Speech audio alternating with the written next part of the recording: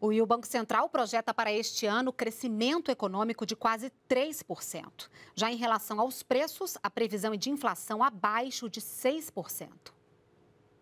O documento aponta um aumento do produto interno bruto, o PIB, de 1,7% para 2,7% neste ano. O PIB é a soma de todos os bens e serviços produzidos pelo país e é o indicador mais utilizado para revelar a situação econômica dos países. Já em relação à inflação, a previsão anterior de junho era mais alta, de 8,8%. A nova estimativa para o Índice Nacional de Preços ao Consumidor Amplo, IPCA, indica que a inflação oficial deve fechar o ano em 5,8%. O Banco Central também antecipou como deve ficar o índice para os próximos anos. A expectativa é de 4,6% em 2023 e 2,8% em 2024. Existem riscos para as projeções e que, depende, que a gente está vigilante e que, dependendo do risco, a gente pode inclusive voltar a subir juros.